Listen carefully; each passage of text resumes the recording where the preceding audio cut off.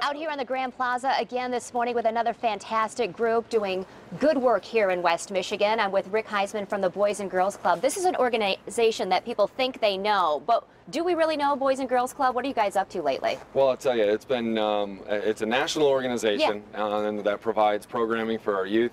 Um, it's been uh, it's been amazing to see over the last uh, you know four months for me personally just how incredibly um, what a great situation it is. I mean, this incredible staff right behind me has the ability to make a difference in the lives of kids every day.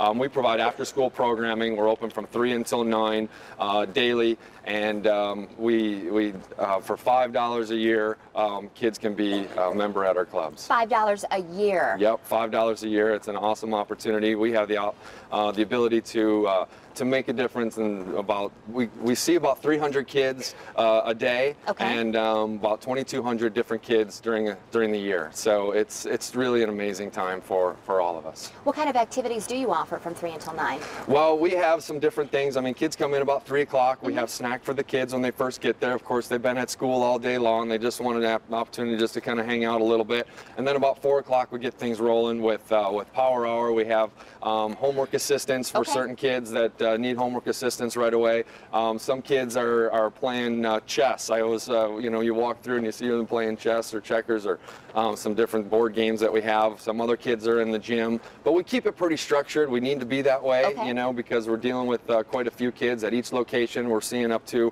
100 to 120 kids um, at each location. So, but again, these people behind me make all the difference in the world, and um, I'm just proud to be a part of this organization. What about the kids who show up with something heavy weighing on their heart or their minds? How do you deal with that? Great question. You know, I mean, again, uh, the people behind me here, they are, um, they have the ability to be mentors to these kids. Um, they talk to them. They're there for them. Um, you know, I, I, could go on and on about yeah. different stories of mm -hmm. individuals. Um, we have a Youth of the Year program where, you know, they have um, we try to make sure that uh, um, we're, we're, recognizing a few of those stories as well. You're so, making a difference in West Michigan is what you're doing. Well, we think we are. I yes, think so. All right, Rick, thank you from Boys and Girls